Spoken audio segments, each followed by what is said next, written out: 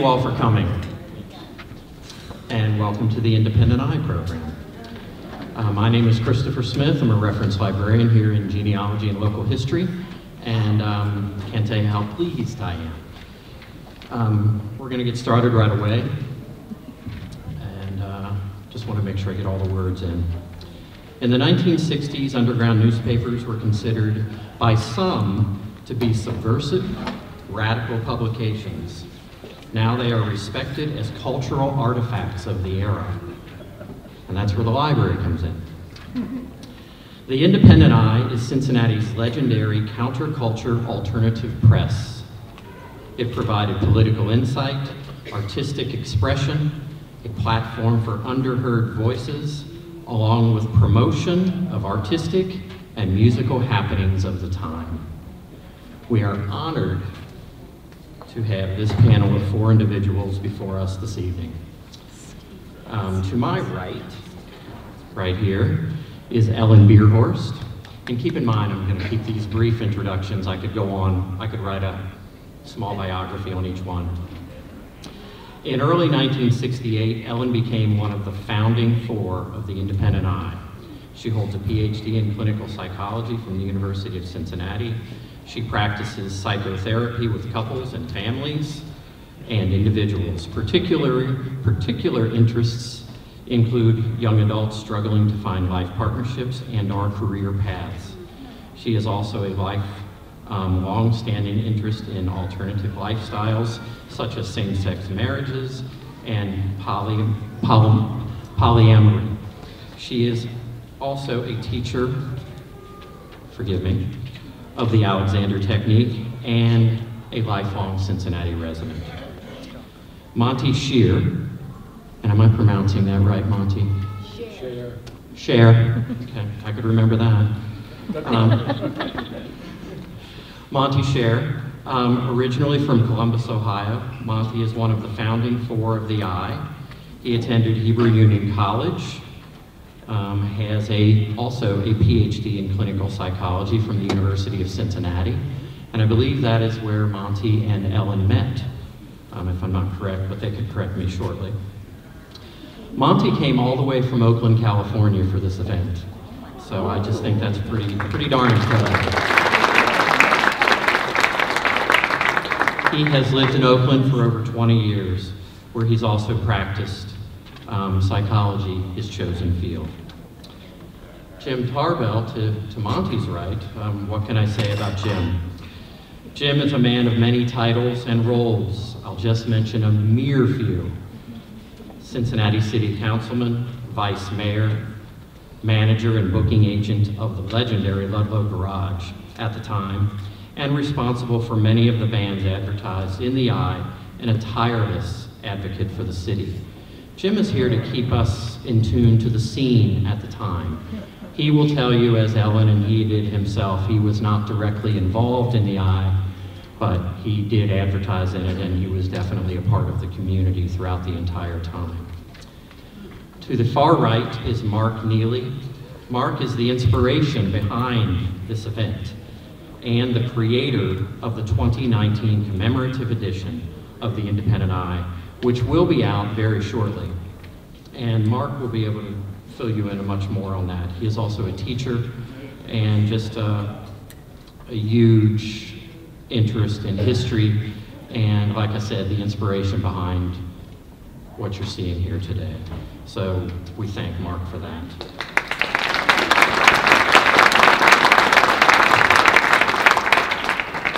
Welcome to the panel and welcome all of you. Um, there's many questions I could ask, but I guess I'm going to leave this open to the panel. Uh, many of you want to chime in, your mics are on.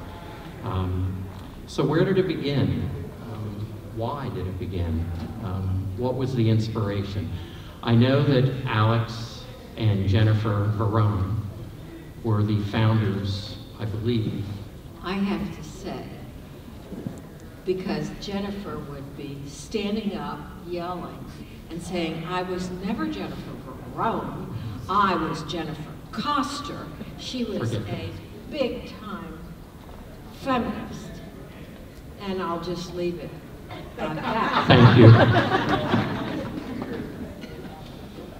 So, can you, can you, I'll, I'll give a little background. I, we Please were do. trying to reconstruct how we got involved in this. I was a graduate, you were graduate students at UC in, in clinical psychology. I, I remember that I was a subscriber to the New Republic. And as I recall, there was a, a Frenchman who was a, uh, who wrote frequently for the New Republic then. This was before it turned against the war. Um, and he, he detailed all the ways in which we had lied about the history of our country. Uh, and I, it, it, I was uh, shocked and dismayed.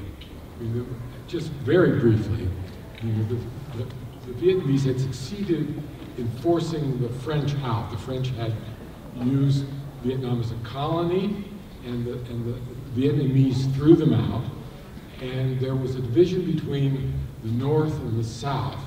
Uh, the, in the South were mostly the people who had allied themselves with the French, and Ho Chi Minh in the North uh, uh, was uh, obviously opposed to them and didn't want them to run the country once the French had been thrown out. Uh, so there was a near civil war, and there was a decision to divide the country along some parallel, I forget the numbers, fa- infamous, and that some years after that, it was called the Geneva Accords, there would be a plebiscite for the whole country, and that would decide who would run the country. Well, our government perpetuated the lie that South Vietnam was a struggling democracy and we needed to defend it, and we, with them, instigated in subverting the Geneva Accords so that the plebiscite would never be held. If it had been held, the North would have clearly won. So um, it was I, I was reading the Republic. I remember reading now uh, a couple books by Quakers that were also to the war. But all that got me very aroused. And uh, I began to think we had to do something against the war. There, and, and Polly Brokaw, who was the head of a peace organization, a Quaker peace organization, uh, I joined her organization, and we sort of um, moved it toward the Vietnam issue, and we called it Cincinnati Action for Peace.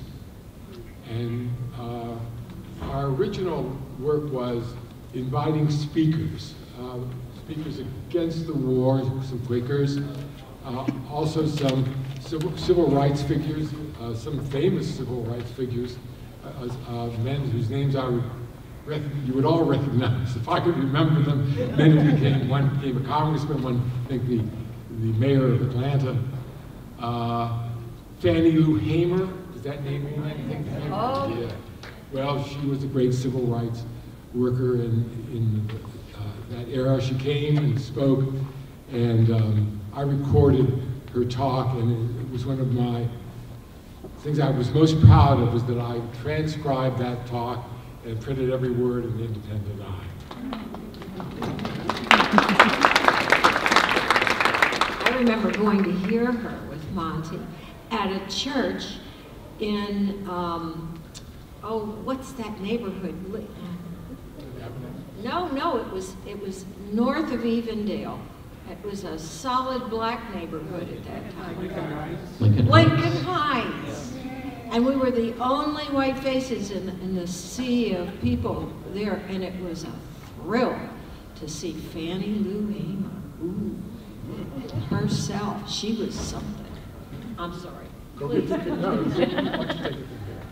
Well. I was not, I, my parents were um, conservative politically, and I was not one to be an activist.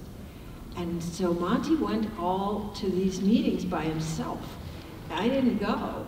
And then he went to a meeting in the, oh, in Dayton or somewhere, and, uh, and met this Alex Varone guy, and he came back all lit up. Oh, this newspaper, it's called The Independent Eye. Alex and Jennifer are seniors at Antioch College, and they want this to be a regional paper for Southwest Ohio, and uh, we're going to help them, and it just seemed so wonderful. And we started in. So uh, you can take it from there. Well, I'll I'll add a few de- details. Uh, That paper was, I think, maybe on mimeograph paper. Yeah, absolutely. The first few editions, mimeograph. It was on mimeograph paper. Uh, uh, We wanted to create uh, an underground newspaper. That was something that was coming into being around the country. And uh, fortunately, the, the uh, Yellow Springs News, I think that was the name of it, a daily newspaper there, was run by Quakers, a Quaker family, dedicated people. And they agreed to print our newspaper. They, this was. uh, For free. For free. It was a, a linotype newspaper, you know, with hard, um, uh, Hot type. hot type made of what lead, and it was it was just magical to go up there and see the the, lead being uh, processed and the linotype putting it all together into these forms. For me, uh, one of the most surreal and, and sweet moments was seeing the, the newspaper come off the press, and when it came off the press, it would float above these uh, gas burners to, to give it enough drying so that when it landed on its pile, it was, it was dry enough to hold its ink. Uh, it, was, it was a lovely sight to see them one by one floating over, over those burners. Probably had a nice smell to it, I would think. Yes, yes. Of course, then, then Alex and Jennifer came to, to, um, to Cincinnati. I, I want to add one funny detail here. Uh, Alex, Alex named it the Independent Eye, and it was ironic because Alex had one roving eye.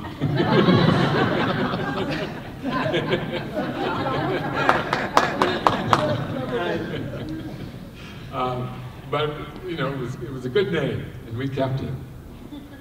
Um, so we, um, I, I want, we, we initially had uh, some very talented people join us. Among them was Melvin Greer. I want Melvin to stand up.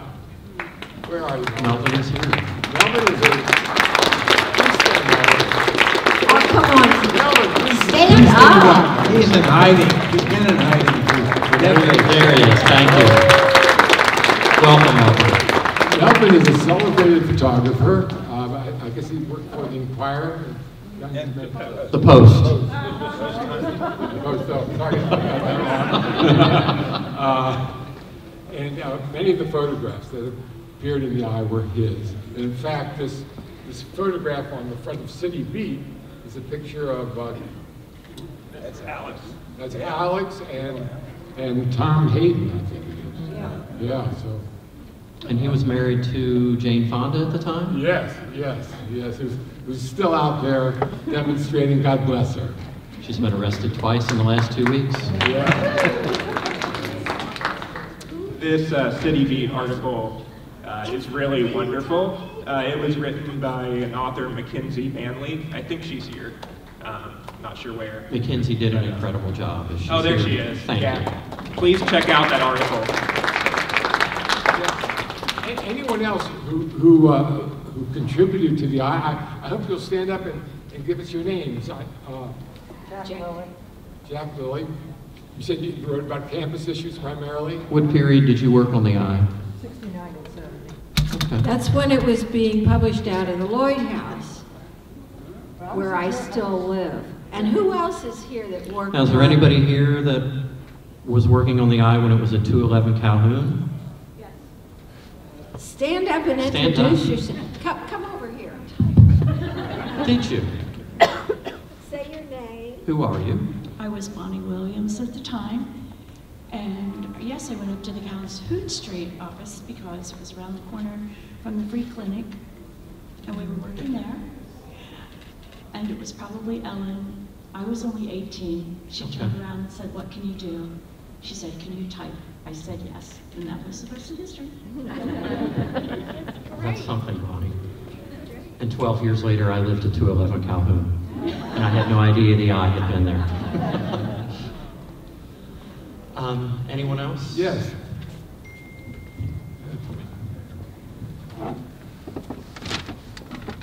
Well, I was one of the kids that would sell it on Fountain Square. Ah, Oh, good. What's your, what is your name? Paula Wiggins. Paula And uh, Williams? Paula Wiggins, I think it was Wiggins. after, I, I kind of hung out with the 532 Dick Smith people. Mark Okay. Rothbaum, um, yeah, uh, Patty Johansson, Kathy Marlowe. Yeah. Um, so that was maybe a little bit later. Um, You guys look so young.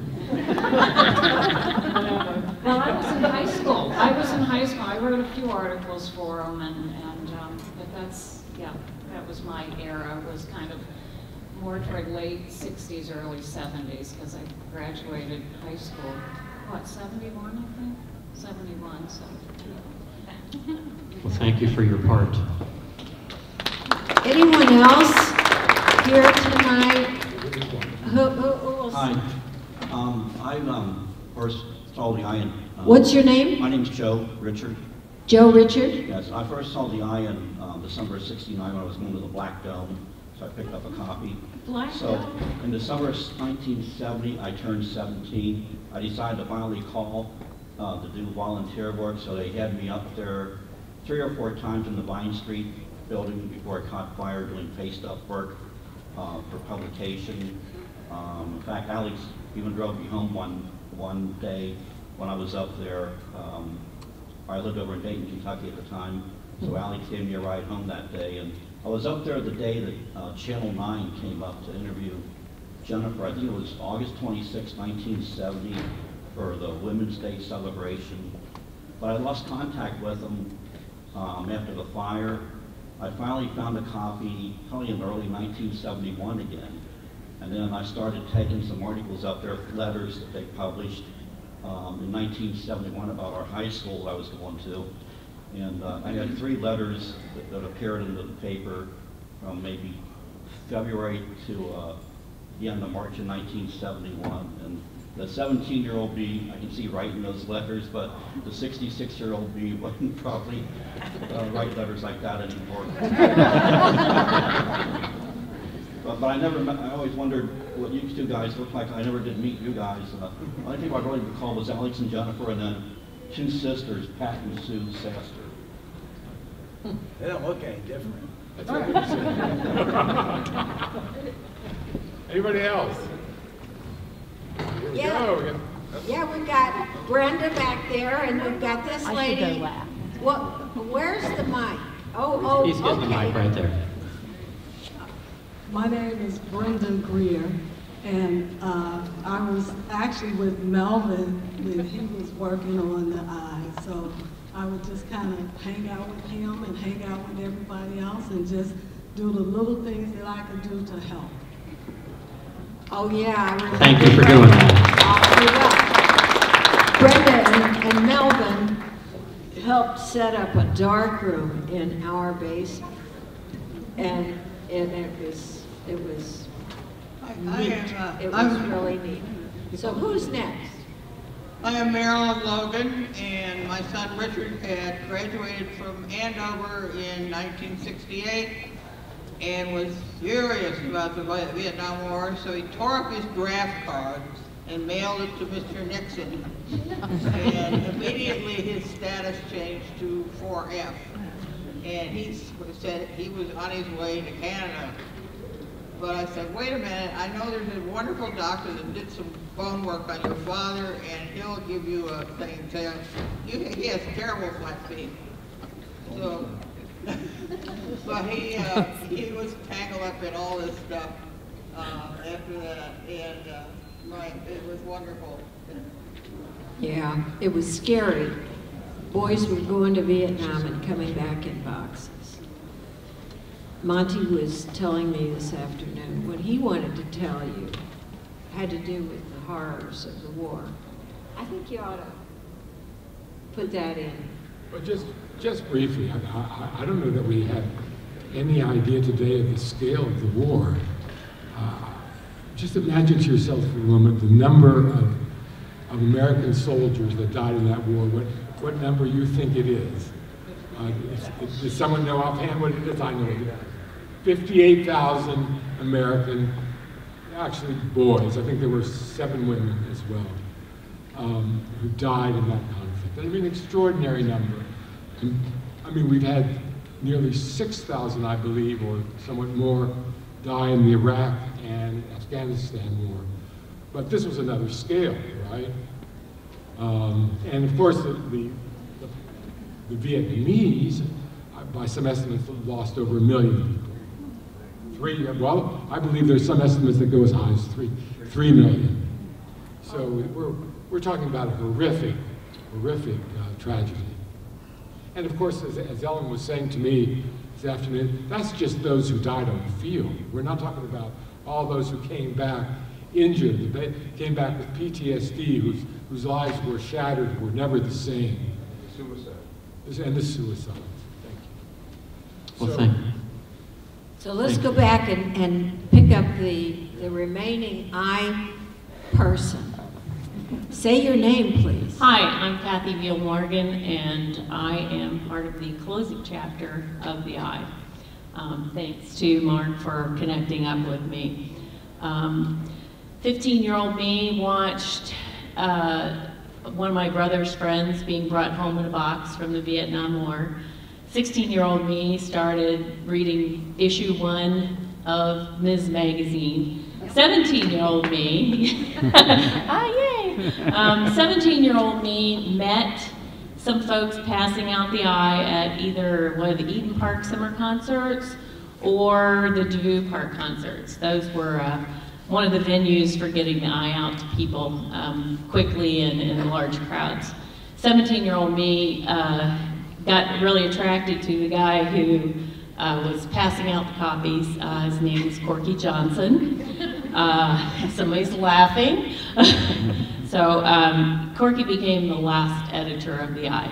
Uh, Corky and I um, lived together. Um, we wound up inheriting the Eye from Mike Wood uh, when he and his then wife Ellen lived at 2323 Highland. Um, so I know Corky and Mark have had a number of conversations because I passed Corky's information over to Mark and said, you know, you really need to talk to this guy. Um, not only was he the last editor, he's got a much better memory than I do. He was involved before I was. Um, and uh, he eventually became an investigative journalist. So it really was a defining chapter in his life. For me, it was uh, kind of coming of age and helping shape my worldviews. And uh, for me, it's a really special thrill to see this through Mark's eyes and to meet the people who started it all. I had never met you guys. So I'd be glad to uh, chat with folks afterwards. Thank you. Thank you, Kate.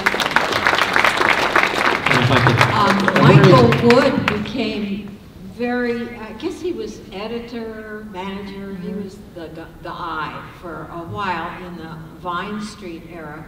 And his widow is here tonight. Would you stand up? Yeah, there she is. Thank you for coming.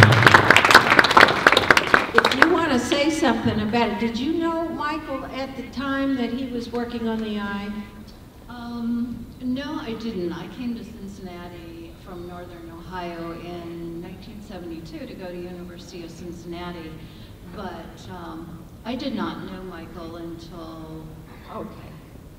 I want to say later, late in the 80s. And but I was with him when he started the investigation along with Mike Avey, and I don't know if anyone had contacted him, but it was about the, the fire that happened on Vine Street Hill, and I think they, that they and some of the other folks with the eye were instrumental in getting the lawsuit with the city um, underway and actually then winning that lawsuit. They won. They did win. I'll be darned. What, what, what did they win? Um, I, I don't think it was much in the way of a monetary thing. I think it was more of a, you know, that they wanted, they wanted They wanted justice. the, the justice and, And so what did the city admit? Um, they had, I believe they admitted that there was, that the, eye was, was firebombed, that it was done, in, you know, that it was, I don't know that they ever admitted that it was the police, which was what they often thought. But, um, I think that they did admit that it was, that it was in some part their, the city's fault in a way.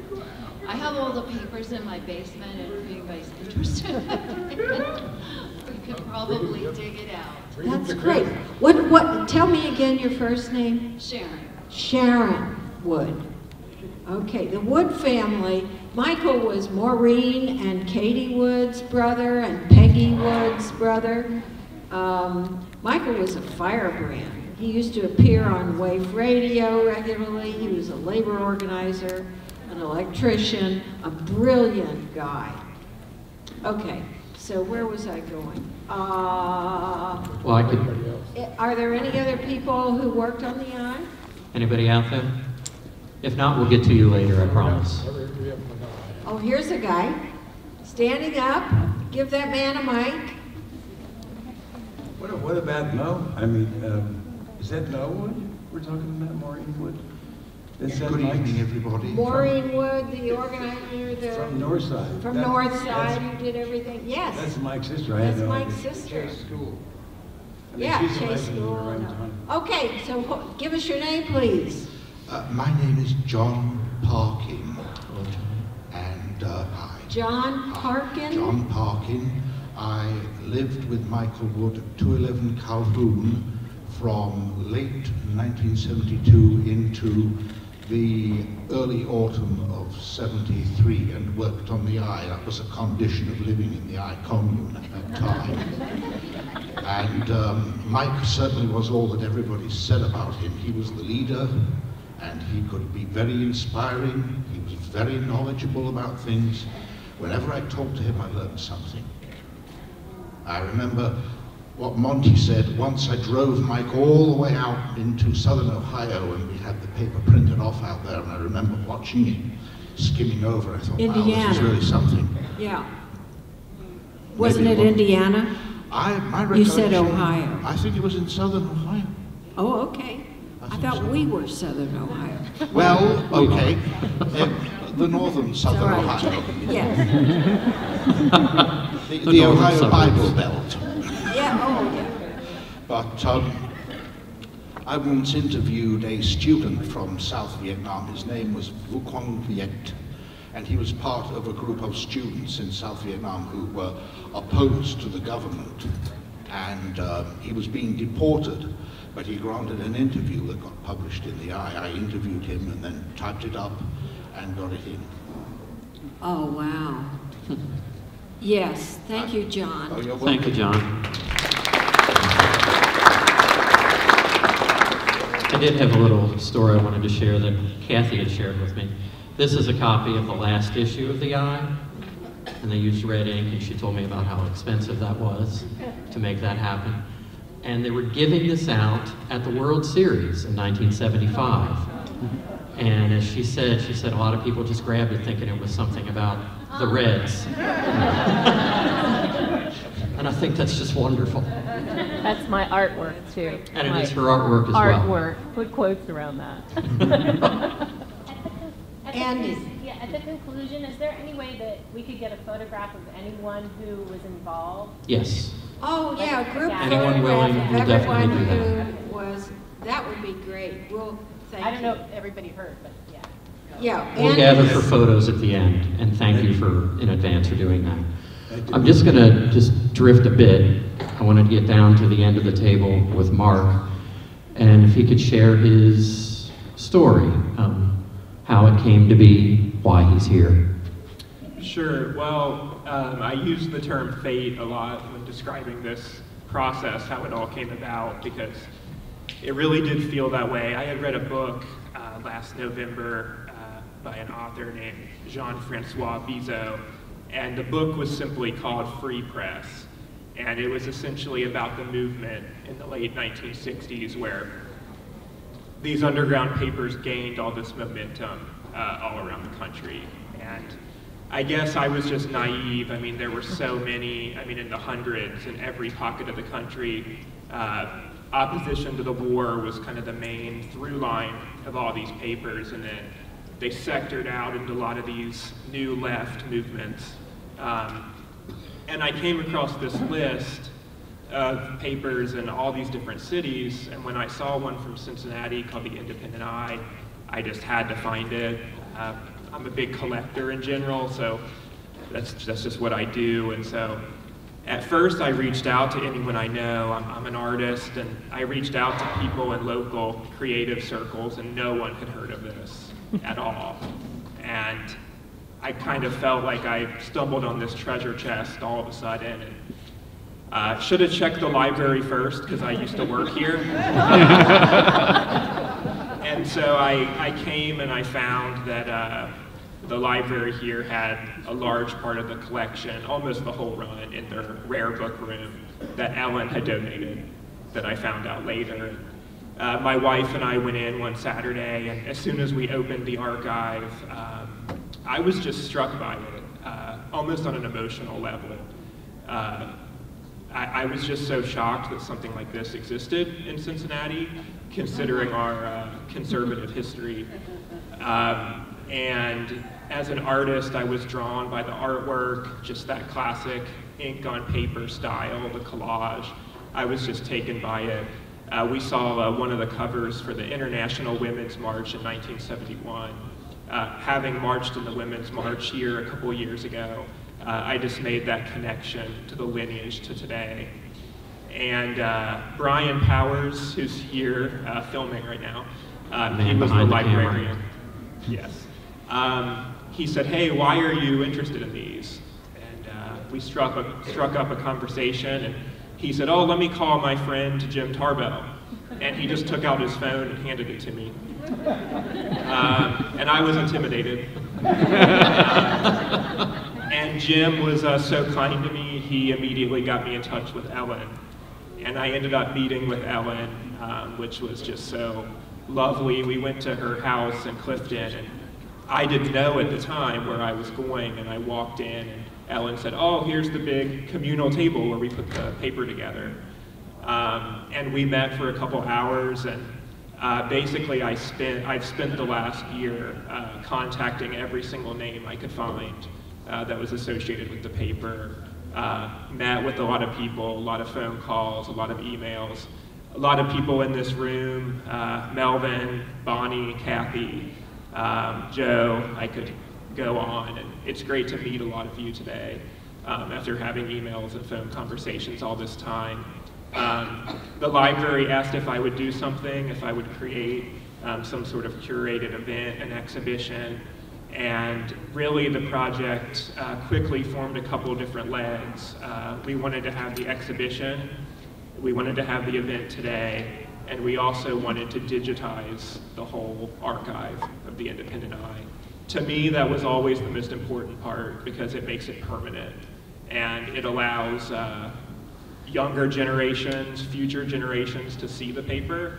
Um, and it also allows um, all of the remaining members uh, who were involved to relive those days.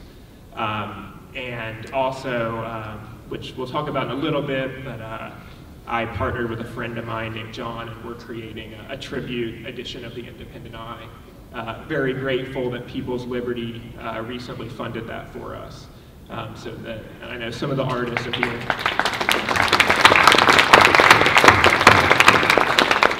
And I, I, just wanted to share um, one more thing. Um, as Kathy had mentioned, um, she had got me in touch with uh, Corky Johnson, who was one of the late editors in the 70s. And one of the cool things for me is I met a lot of people involved in the paper after Ellen and Monty were involved who never got to meet them. And I just wanted to share something um, that Corky had wrote to me. We had talked on the phone for a couple of hours, and this is something he sent me later after I sent him the digital archive. He said, Mark, it was good reminiscing with you about way back in the day. Thank you for sending me the digital file and for undertaking the Eye project. As I mentioned, I was somewhat ambivalent, uh, not about your project, but about looking at the old papers. But after spending time with them, it brought back some powerful, mostly fond memories. Honestly, I became rather emotional. Much of that probably had to do with knowing that a number of us are no longer around. Mark, please give Ellen, Monty, and all original staff folks my very best. Although, although I never met them, I believe we must be kindred spirits in some, some such way.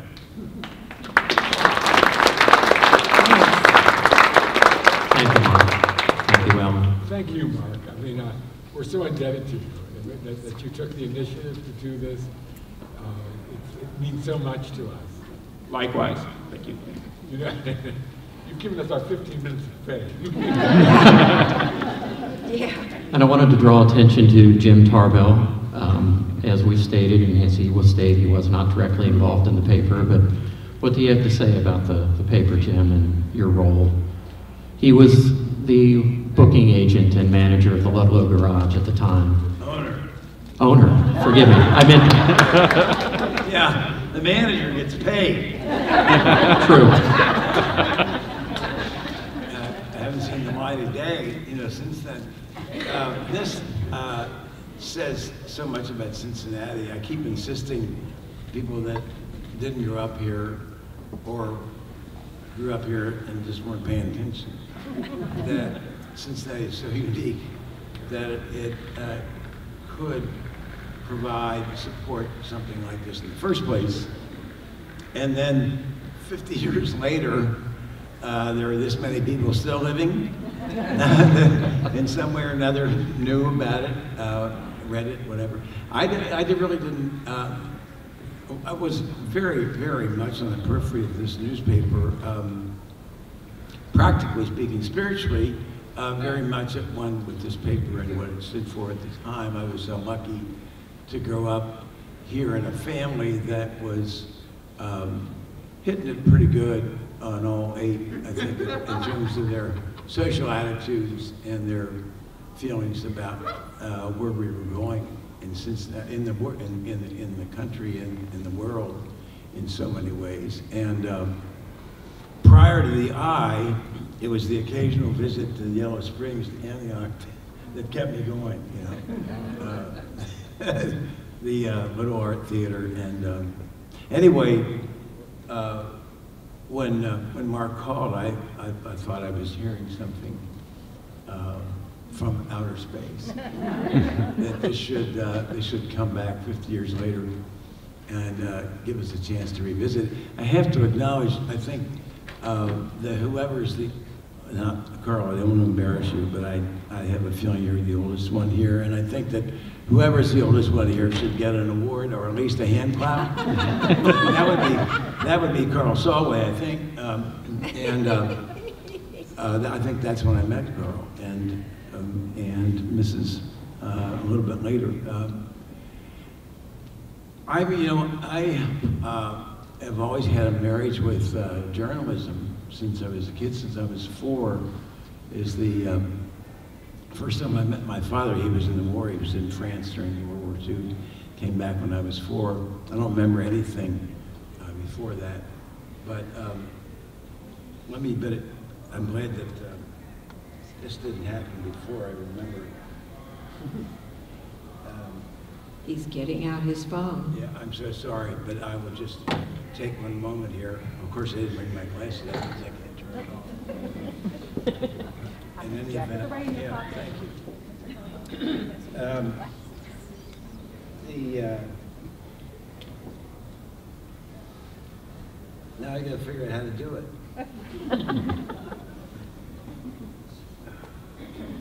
I, um, and, and what I was about to say may help explain why I can't do this. Because growing up, I was ADD, uh, dyslexic, agnostic, NBC, CBS, you name it, you know, I had it.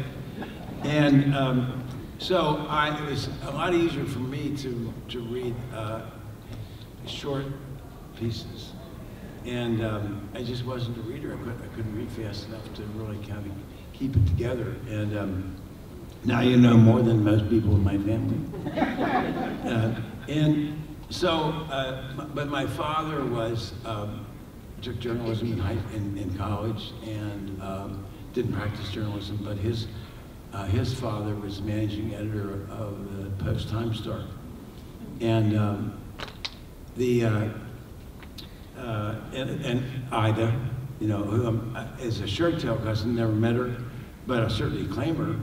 Uh, anybody that has an odd name like that, you, you got to take an interest in uh, the name Tarbell and finding out what she was all about in terms of her mud, mud raking and suffragetting uh, was caught my attention as a kid. Um, I, I sold the Enquirer in Hyde Park Square when I was 11 years old. Uh, I delivered the Eastern Hills Journal when I was 13, door to door. Um, and um, I lived next door to um, Sylvia Lotspeich.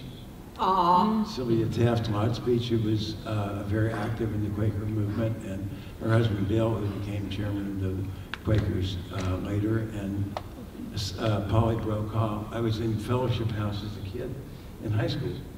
And Fellowship House was an anti-war organization, well, they're a social action organization, and they had an adult group, which Polly was a member of that uh, Monty talked about. And but they also had a, a, a high school group, and that was a, a citywide um, melting pot of all kinds of people that I did not know growing up, living in Hyde Park or going to St. A's High School. Uh, and it was a, a wholly different experience for me. It opened my eyes to a lot of things, and um, one of which was, as a 15-year-old, the idea of a youth center uh, to start talking about those things that we, we weren't talking about that in school, maybe at home. So maybe you'd find some other people that had that experience as teenagers. Um, I went away to New England um, and thought I was going to be a doctor, but you had to read in order to be a doctor. my bedside care physician said, "Oh, you'll be." My professor said, "You'll be just fine," but my chemistry and physics professor said, "You cannot, you will not be a doctor at all." and so, um, worked as a commercial fisherman for a while, came back, and um, one thing led to another. Uh, I came back to to be the director of a teen center, and this was 1967. When, Director of a what center? of a teen, Teen center. A teen Yeah, this is a way station for uh, kids who were not hanging around the house. In my case, my father was dead, and my mother was working, and I there was no no reason, no place for me to go after school, and so then I found that there were other guys like me uh, that were kind of hanging out, and why don't we start a way station for uh, us uh, folks? And uh, worked on that idea as a, at the age of 15. It didn't happen. Later on, at age 25, it did happen, totally unrelated. And I was invited to come back and be the director. Don't ask me. I, I, I have no idea. But when I got this letter, uh, I thought, well, I guess I don't have any choice. Something I worked on when I was 15. So I came back and directed this teen center for a while, and uh, it was a good idea, but it wasn't going, wasn't meant to be for very long. And but that led to uh, my going on my own to start some semblance of a center for uh, young adults, and um, that's where the Ludlow Garage came from. Sorry it took so long to get there. And if I could add, the Grateful Dead played at the Teen Center. They did, yes. It was, uh, um, that's a whole nother night. Probably a lot more We should Ludlow entertaining. Garage Night. We should have a Ludlow Garage Night for Hey, the that's- library. That's a whole other program. Yeah. By the way, I met, uh, I know her longer, I think, than anybody in this room, I'll bet you. Because I met, am I allowed to say your name? You are. All right. I met her when she was Shusty Bierhorst. Now, if you think you can avoid meeting somebody and spending time, maybe you're crazy because it's too much fun uh, meeting Shusty Bierhorst, you know, and finding out what's that mean, you know, where it's where it come from. And uh, that's because she and my sister were in high school together at Walnut Hills, class of 58. That's why. And um, So when she came back reincarnated uh, as, as this uh, radical journalist, well, I had to start paying attention. Um, but the garage was an extension of the stuff that I just mentioned about what I felt uh, was a need. And um, the, the garage, truth be known, was really to be a community center. It was going to have an art program and a speakers program and, and music. Well, it didn't take long for music to take precedence, you know, as the reason for being there. And um, it was also, uh, Cincinnati had a wonderful music scene historically and currently at the time. Um, so we had great talent here, but it seemed like there was a bigger picture out there, and I thought it would be fun to address that if possible, and that became uh, really the focal point of the garage. But uh, it, it, it ties in with, with uh, social action in its own way, of course. And um, Well, Jim, it was important to get your advertising dollars. Right. We Yeah. had And where better to do that than in the eye? Yeah, oh, well, yeah, That's my real connection with the eye. I was an advertiser, you know, and, uh, that's right. what- what- Oh, it was, it was vital. I had something to say.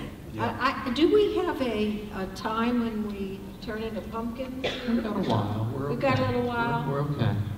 Well, if I can interrupt Jim's fascinating, uh, But uh, get to the point, story. Tarbell, right. Yeah. So, uh, you know, here we are, we were doing it. It was 50 years ago.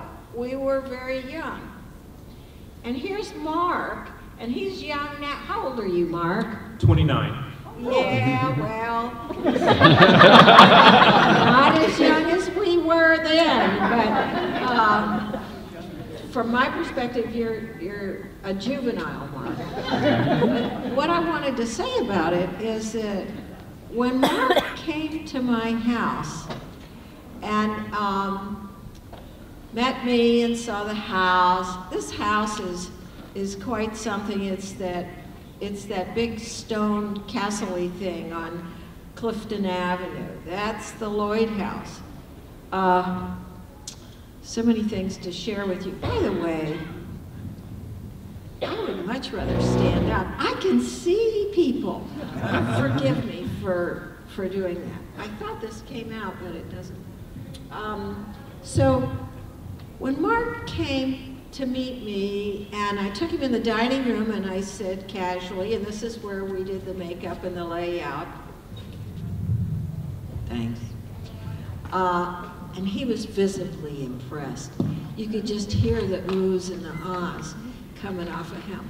And I thought, look at this. Here we are, legendary. now, back in the day, I mean, if, if somebody could have come into that dining room when we were, you know, 30 hippies swarming all night over this table putting out this newspaper, and that was a process, I can tell you, and said to us, oh, well, in 50 years, there'll be a, there'll be a show at the library, and there'll be young people who will think you were ooh and ah material. We would have laughed them out the door. Because you have to understand at the time, although we felt deeply and passionately about the horrible, horrible war and would have done anything to shorten it, to end it. Yeah. I'm falling down the hole. Melvin, what are you going to say, Melvin? Let me say this.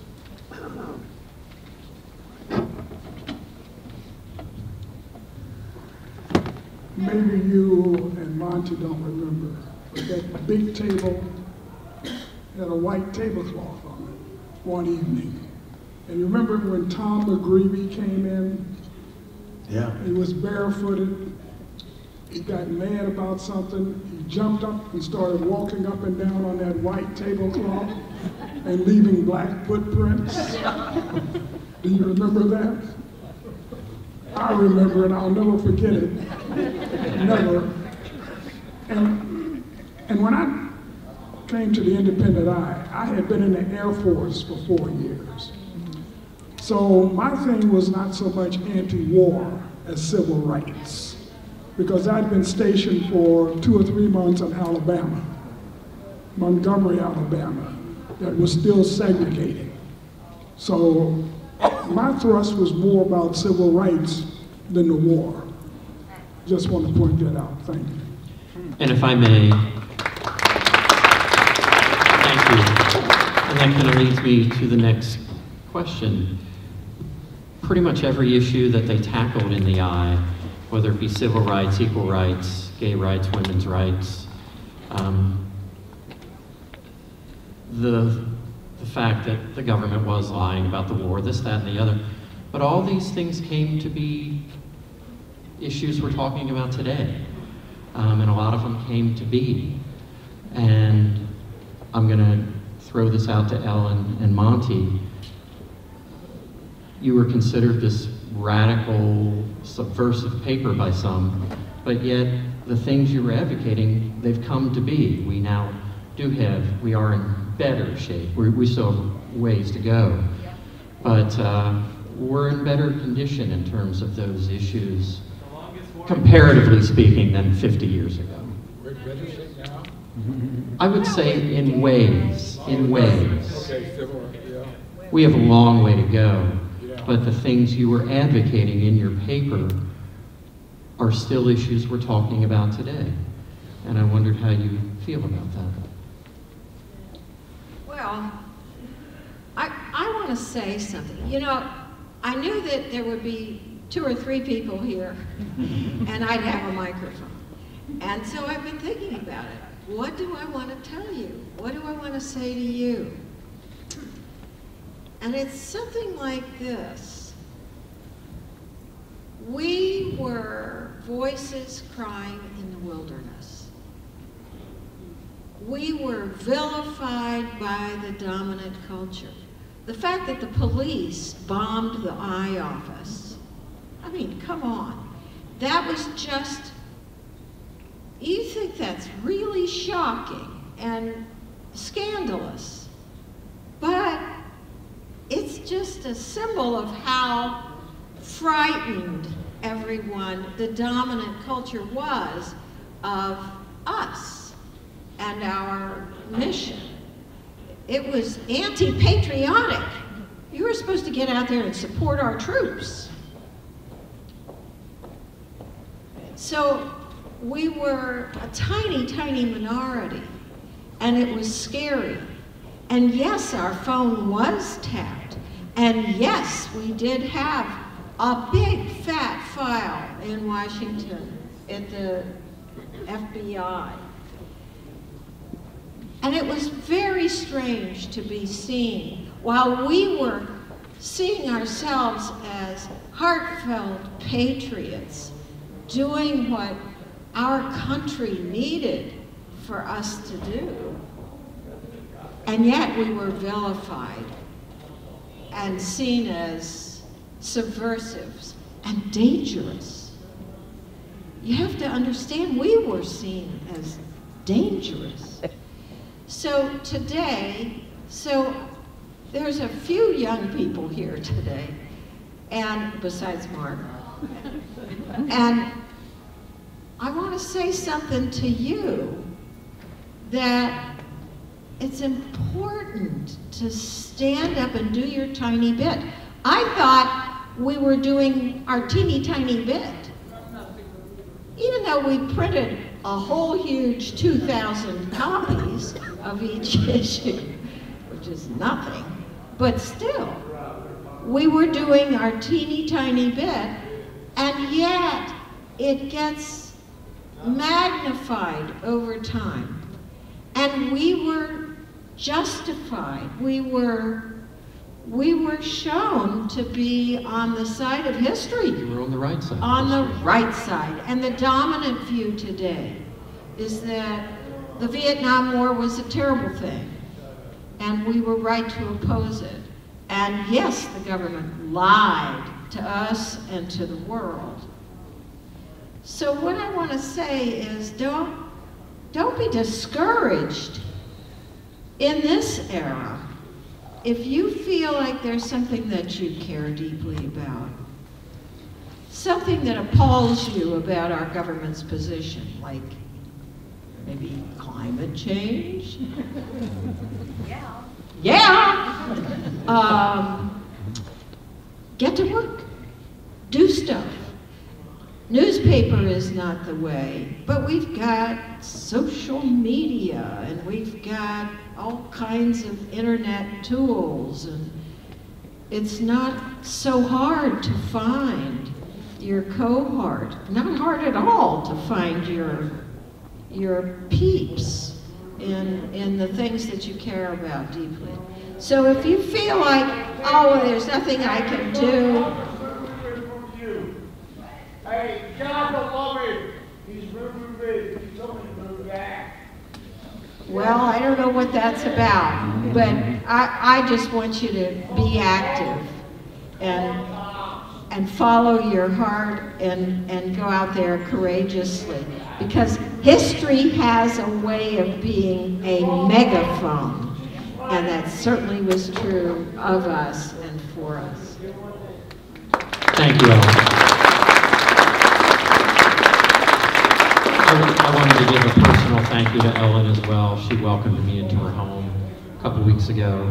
Um, we had green tea and cheese and conversation, and it was a wonderful time, and I learned so much. And she gave me a tour of her incredible home, um, a house that I'd noticed for years. So there was two wonderful, I met some great people, and um, she's a wonderful tour guide.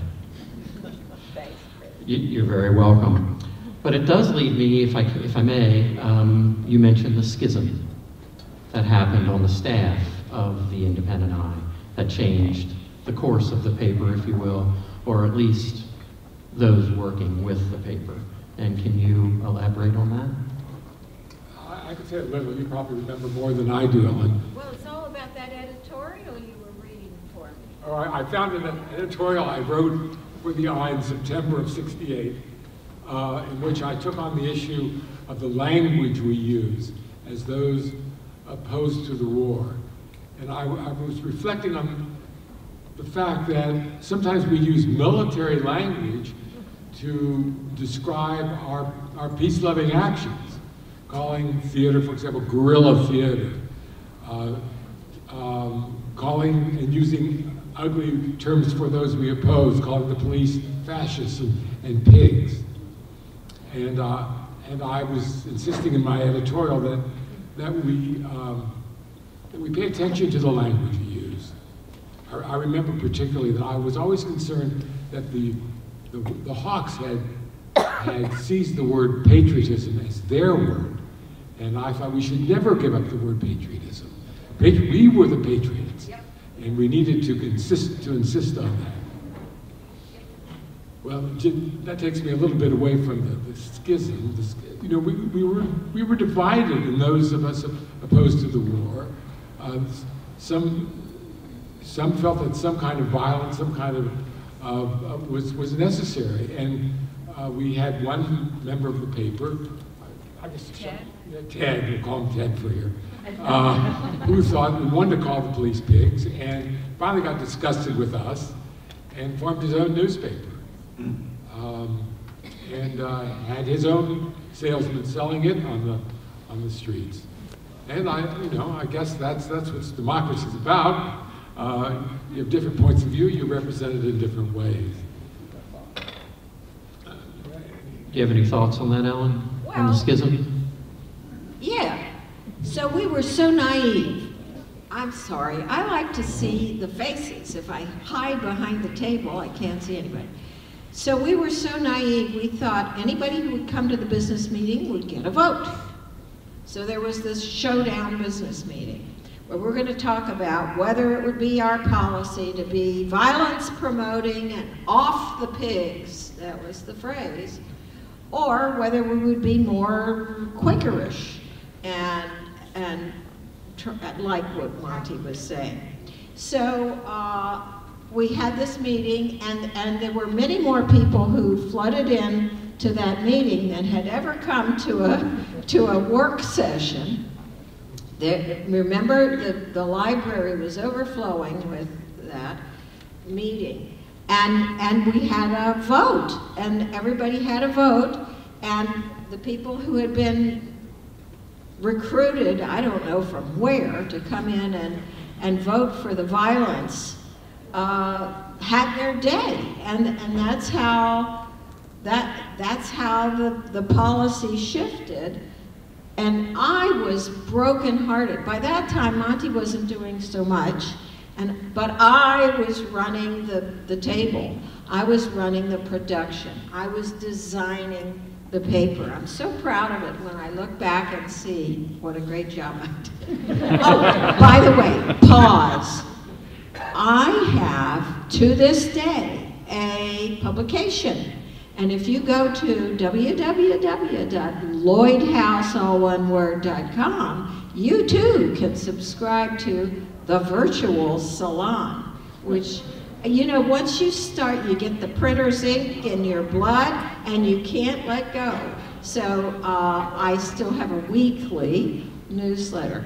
So we had this showdown meeting and the, the doves among us were voted down and I was heartbroken and I said, well, you'll have to find some other venue to put the paper out and I'm not going to organize or design it. And I, I was burned to a crisp. But by that time, Chris, they, the people like Walter Cronkite were showing coffins coming off of planes. And they were reporting on My Lai and they were letting the general public know that, that this was a stinking, lying, horrible, bloody, awful war. So that's how the schism happened, and they, they rented a, a place on Vine Street, it's still there, and that's where that firebombing happened. Remember that? And uh, so I, I know almost nothing about what the paper was doing once it left my dining room. So, Did you continue to read the paper? you know, I don't think so. I had a, I had a baby, I had a house, I had a practice, I had to get my PhD finished. So it was, uh, no, I don't, I don't think I even saw it. As a matter of fact, Mark, you managed somehow to, to dredge up all the copies of all, a, a copy of every issue. I have no idea how you did that. You want to tell us? Because I donated to the library all the issues that Monty and I had participated in. The Yellow Springs News, hot type issues, and, and, and the, uh, you know, the offset press issues. But there were, there were the, the mimeographed issues, and then the subsequent Vine Street issues.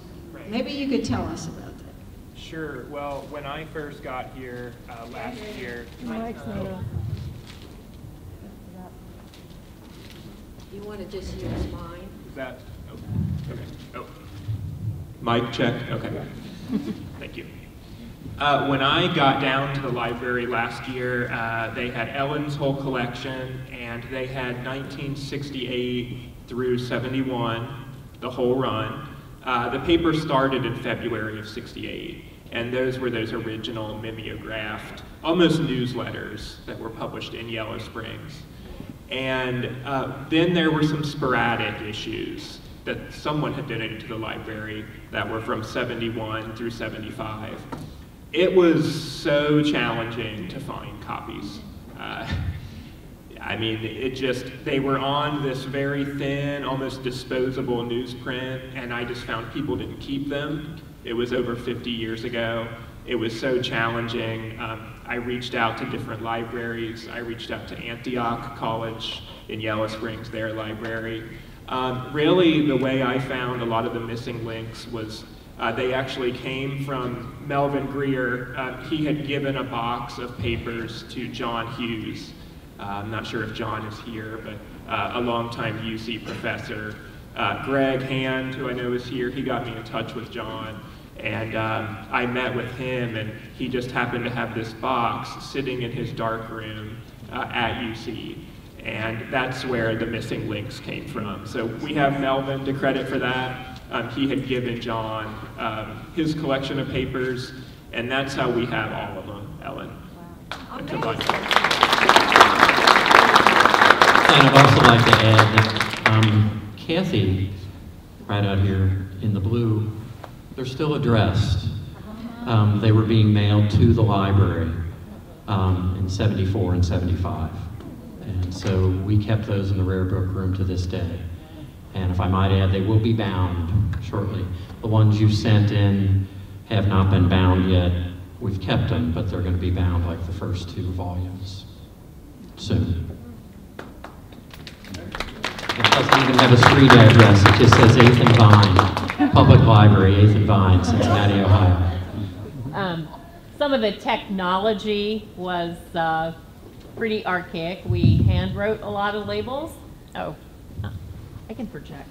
We hand wrote a lot of labels, but in the last year or two, we got access to, anybody remember key punch cards? um, so we um, were able to use the facilities in the basement of the engineering department at UC and do key punching, which you know, was one of those life skills that helped me for about two years. but they were key punched. Um, we sent free copies to the library, had no idea until a few years later when I was working downtown. I came to the library on my lunch break and discovered the rare book section and uh, discovered the mimeograph copies of the eye, and it was, uh, it was a real treat for me. But, um, you know, as far as some of the beliefs, we also sent free copies to any prisoner who um, wrote to us and said, here's my address. Uh, we also you know, published, uh, and I think, actually, I think you guys may have started it, or Mike may have started it, but they, we would set up a little corner called Pen Pals in the paper, so anybody who wanted to write to one of the prisoners could, you know. That was part of the history. And we could talk about the technology and imagine what we could do with today's technology. yeah, really. Just a little note of the primitive technology we had. Uh, we had this young artist, a shy young woman. She had the, a wonderful name, uh, Tekla Herbie. And, and she used to make linoleum, linoleum block art for us. So if we had a white space and we needed to fill with little art, Tekla would carve out a picture for us and, and, and, and fill it up. At Monty, I actually got to speak to Tekla um, a couple months ago. Yes, she's living in Piqua, Ohio. Tekla's in Piqua. Yeah. has, has a ring to it. Uh, Sounds like a new, a new newspaper. Yeah, it does. Um, but she had these beautiful, I mean, just beautiful linoleum cut prints. And the one that stands out to me was a linoleum print, print uh, of Martin Luther King Jr. from the April of 68 uh, issue. It, it's really stunning. So I encourage everyone to head to the digital archive we created and, and take a look at that one. It's really special. See, you, you could, you could turn, uh, you could make lead look like a photograph, but it was expensive and difficult, and we couldn't afford that. So when we were printing with lead, the, that's when Tekla would make the linoleum block that was put right in the in the locked up lead. Uh, what do you call those things? The that that go blunk and make a print. Printing press. Printing press. Printing press. Well, yes. The plate, the plate. What we used to do was, uh, see, we couldn't use the linotype machine because that was a high-skilled activity. We gave them the copy and a volunteer linotypist on his own time would sit there at this big machine. A linotype machine has a little keyboard down here, and then it's this huge machine, and it's all visible. So that there's molten lead that is cast into dye to form each line of type. And he would type each letter and then pull a lever, and the whole line of type would be poured with molten lead, and it was set up right away, and then another lever, and, and that would fall into a channel and, and come down and, and land in a, in a, in the bin. So that's how they did the, the regular stories, but not the headlines. The headlines you had to set by hand, and you had to read upside down and backwards to, uh, to get the, the words to put into the headlines. And then you had to cut little pieces of wood on an electric saw to tighten up the plate. So, and then you had to lock up the plate with a key that mashed everything up. Remember all that, Monty? It You know, there is, um, do you know what Warren Buffett's doing right now in his spare time? He's buying every single newspaper that closes in the United States. And he's got, I don't know, last time I heard he had 50, and they, they weren't uh, neighborhood, I mean, these were major newspapers. I think Warren Buffett, Tekla, and Pickla, there's something going on there. Something's going on. They need to meet. And that's a whole lot more fun than this, this thing, which just about ruined my career. Uh, and uh, that, that world's still going on. There is a brand new uh, newspaper print, printing shop, a museum, but it's an active museum. Um, they have a- ancient equipment there, so you have, you have an idea what used to be, but it still is. They, are using uh, those printing presses in that museum for people in recovery. And they're giving them something to do, you know, with, with a new life. And it's really rather poetic, more ways than one. I, I want to mention that the, there was a, a source of news that we had. Uh, the, there were underground newspapers all over the country, and there was something called the Liberation News Service, and they, they would send us stuff, and we would, we would re- reprint it, and it was a very valuable source.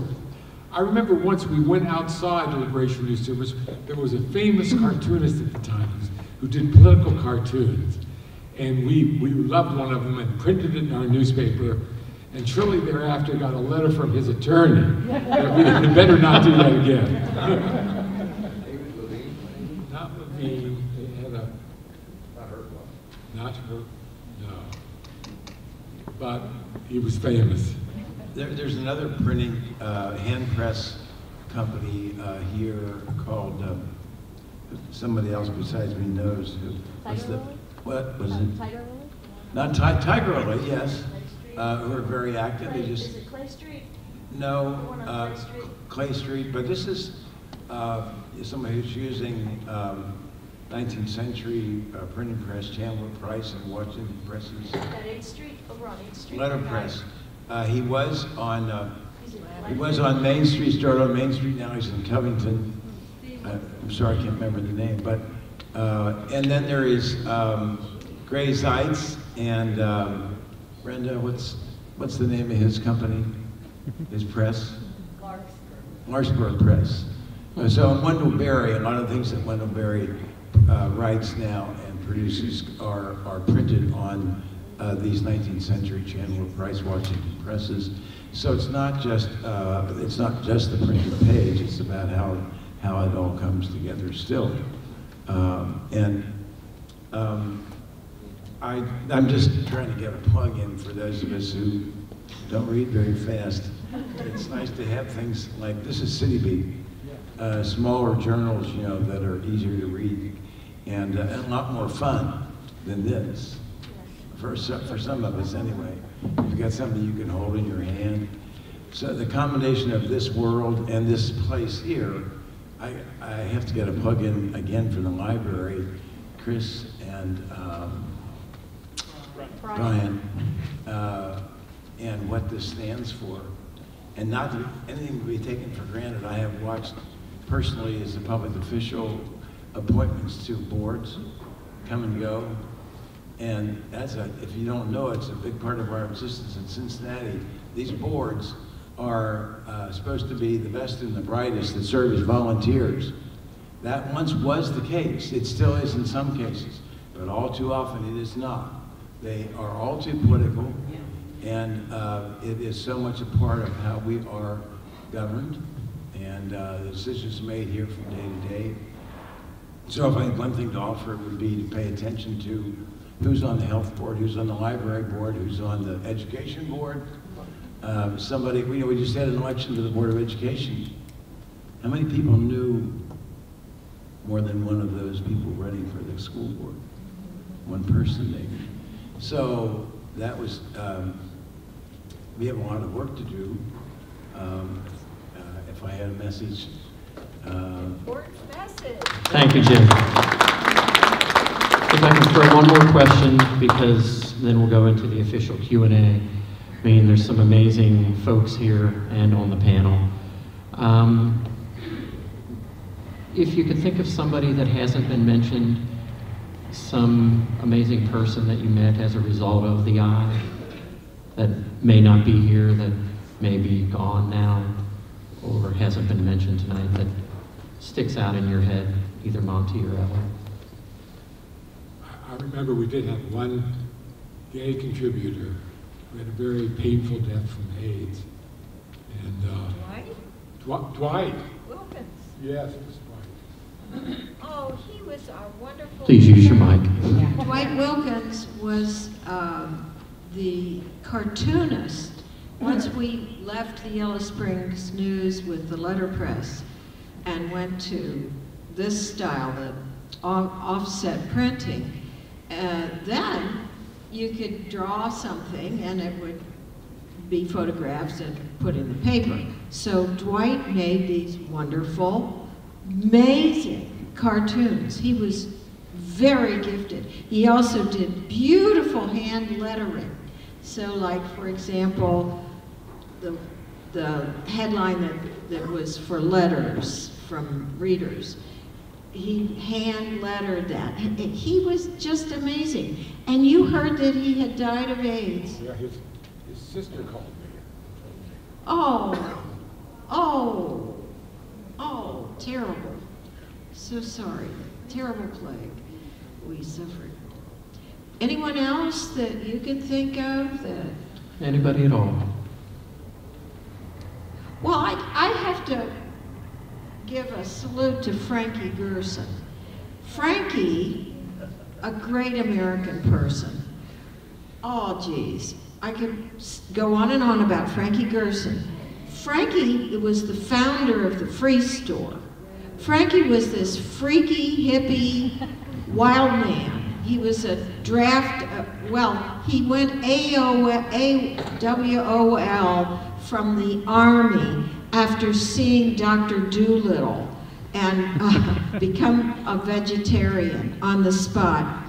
Anyway, he served some time and found himself back in Cincinnati, and he sold the eye for us downtown on, on Fountain Square and up and down Vine Street.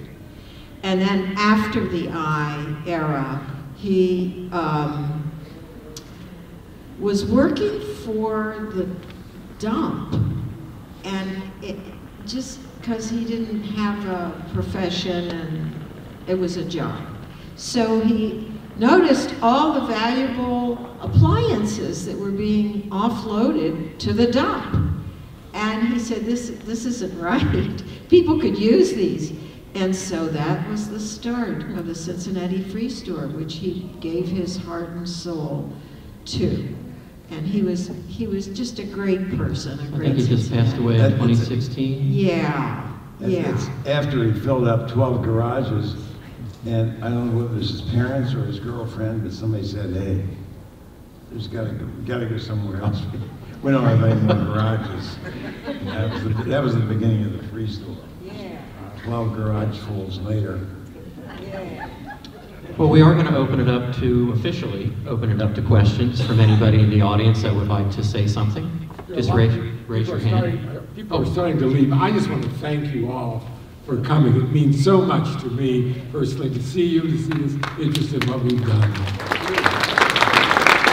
Thank you for coming. Any questions? Ah, great. There's a Should we march? Well, we- we do, we do have an air. I noticed you walked in the door over there. You, were- the person that had is, is one of our heirs in protest. Would you hold up your sign, please?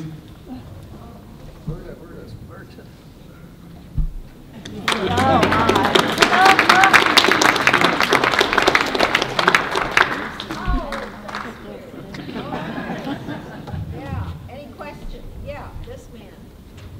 I have a question for Mr. Jim Tarbell. Would you mind explaining the reasons that the Ludlow Garage, when it was a teenage rock club, came to an end and was closed? It was, why? Yes, why, why did you finally close? And it wasn't just financial, was it? Oh, more than anything, absolutely. I mean, it was, uh, I mean, part of me's still up there. And, although it's uh, open again, it's a whole different ballgame, but, uh, but, uh, it wasn't, uh, it wasn't, there was community pressure, uh, from, from day one, but, uh, I think we overcame that. Um, and, um, it was really pretty much all financial. I was, it wasn't for lack of wanting to be there. Still, to some extent. I mean, we had the 50th anniversary a couple weeks ago, and uh, big crowd, uh, probably about uh, 50 musicians that could still walk and talk. you know, and, uh, 10 bands, all of whom played there 50 years ago. So, it, it, you know, it's sort of, it's, in some respects, it lingers on. Did you have some secret that you know that? No, I just wondered if there was anything other than what you said. No, it's, you know. Um, I think that when there's, uh, well, no, I, there is something. Uh, the world, that world really was changing, and it's a sad story about uh, a lot of the social protest that was tied up in music at the time. And that was a big part of that whole world, that it was being commercialized. And so a lot of the bands that I felt were worthy and uh, were, had a message over and above being good musicians uh, were not affordable anymore. And that is way more the case now, I can tell you. Uh, I don't know what Bob Dylan cost uh, to perform here last week, but I guarantee you it was in six figures. And uh, the tickets, I think, were like $65 and up. Santana, the tickets for Santana were from 80 to 600. Um, Yeah, there's now, no there's still plenty of good music shows. around. There's no more shows for 875 anymore. Yeah, there's still plenty of good music around, thank God, that is affordable. And uh, in fact, if you go to Arnold's, uh, there's music uh, pretty much every night there is for free. So it, it has moved around and there's still lots of opportunity, but I think um, that, that particular change in how we do business was a big part of the garage closing. Was, do you remember Judge Cardilano? Sure. Oh, sorry. I, I just think it's poetic because uh, Judge Cardilano, who's pretty extremely conservative, it's his daughter who's one of the owners of Ludlow Garage now. Oh, really? Yeah, so that's kind, I think, I think he's probably spinning in his grave. He was, he was an interesting study. I think there's more to him than met the eye, but uh, uh, uh, for the most part, Yeah, it's, a nice fellow, sure. yeah, I'm sure. yeah, he, uh, Any Well, other questions? This gentleman up front. In the early days of the Eye, early days of the eye, did you get any covert support from any establishment people? Were there any sort of secret supporters on, of the establishment? Did anybody uh, give you a pat on the back? I'm just curious. I wish. That would have encouraged us hugely. Never happened. No. Well, there That's a good was. question, uh, though. It is. One of the most fun jobs I ever had was working for Steve Gibbs at the free store installing repaired space heaters in all those buildings with no central heat. And we had a blind man who could go into the back of them and, and find out what was wrong and fix them. So you can imagine arriving at somebody's building, this forty-year-old lady and this blind man, and we're gonna put this together. Yeah, yeah, uh-huh. Wonderful. Thanks, Marilyn. David, I think, Thank uh, David, you remember Servomation? That was like the early, the earliest uh, well-known, um, what do you call those things? Canteens, um, vending machines. And Servomation was one of the leaders in the industry in the very beginning, and that was, um, what was his name? Um, Good, uh, Collett, Jane Collett, and, and, and that was, and her father was a big deal Quaker and uh, very wealthy, and, and uh, he was, was in that category of, uh, of a strong supporter, albeit quietly. But And Steve I Lansky had, had his I- hand I had a question about the slogan. Is it true there was a slogan, I saw it in the eye? I never heard it. Slogan, slogan where? It's got to be true, I saw it in the eye. I've read that. Of course, it's true.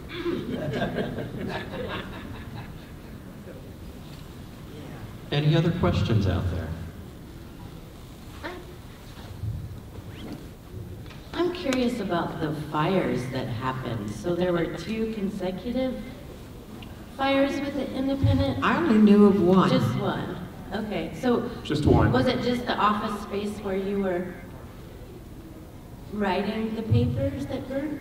There was an office on Vine Street in a little row house on the uh, west side of Vine Street, about a quarter of a mile south of McMillan. And it's still there, the building is still there. And this was the uh, northmost unit in that row house that was rented by the I staff. And the records and the uh, archive and the, the everything was in there. The uh, subscriptions and uh, the stories and the past issues and everything was there. And uh, the firebomb uh, wiped out uh, most of that. It was like a flash, big. Well, a firebomb is an incendiary device that makes things burn. Yeah. And So- that's, that's how it burned. That's how, that's how that was, yes. And if you check out the exhibit on the third floor, the cover of the Independent Eye with that house and that story is in the display. Yeah, they, the Eye actually published, it's amazing how candid they were right after the fire. They published pictures in the Eye of broken in filing cabinets that local police and firefighters opened with axes and stole subscription lists, as Ellen said, financial information of uh, both the staff members and the subscribers. And uh, it was ruled an arson at the time, but some of the staff members who were there at that office uh, claimed they witnessed the police making snide comments as they took subscription lists and things like that. And Bonnie has a question.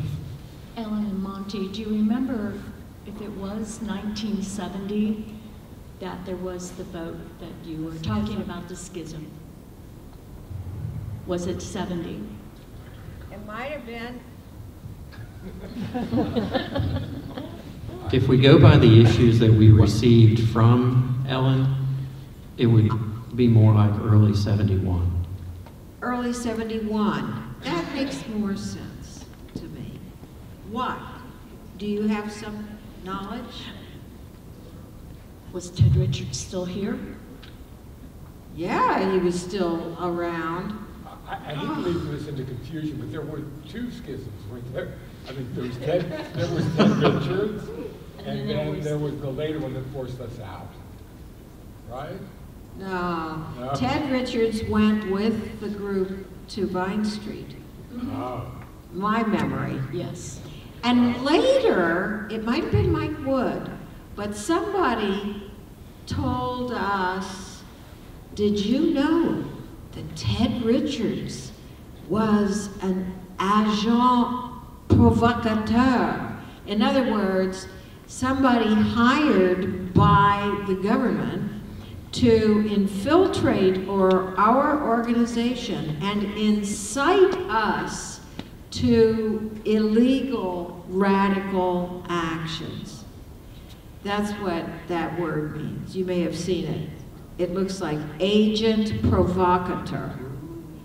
And do you remember that? That was that was hot stuff. That he might have actually been in the employ of the government, and it added up for me. I thought it was pretty likely. Did you know Ted? Yes, yes, I knew Ted. Wild man. What a man. Wild. Wild. Wild guy. Yeah. Not The, be the only remembrance I have of the government affecting us were one seeing the, the FBI agents come out of the federal building and photographing us when we had a demonstration in front of the federal building. And then we got, we got, um, checked for our taxes, what's the word when you're audited? And the auditor actually came and stayed at our house for a better part of a week. And I, I do believe that that was motivated because we were not a, a business of any concern.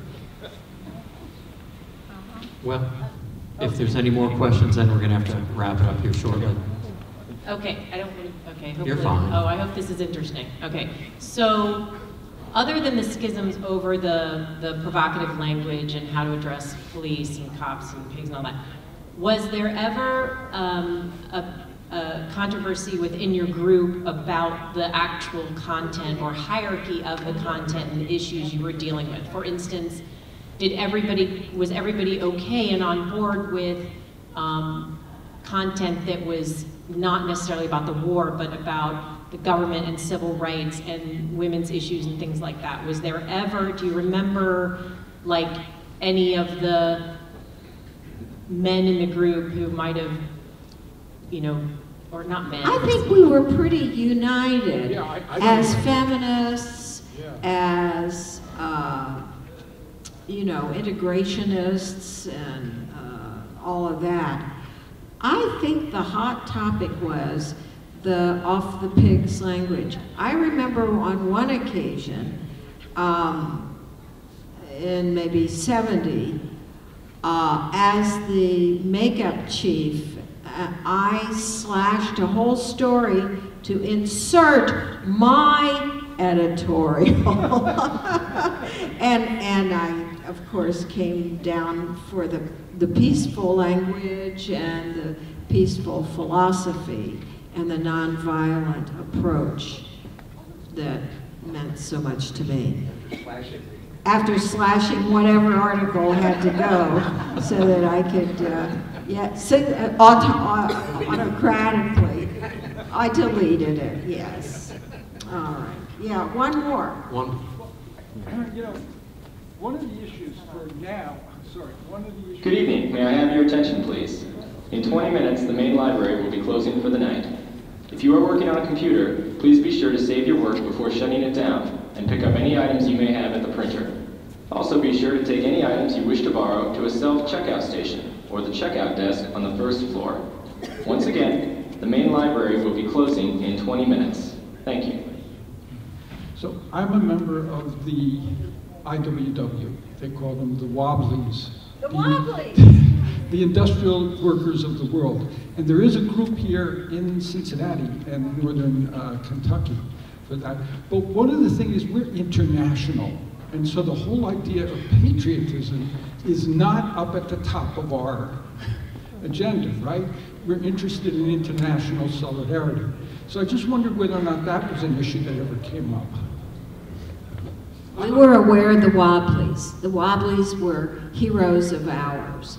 If we're heroes for people like Mark Neeley, the, the Wobblies were heroes of ours. And I'm delighted to hear that there are Wobblies today in Cincinnati. Somebody has their hand up, and I think that should be the last question.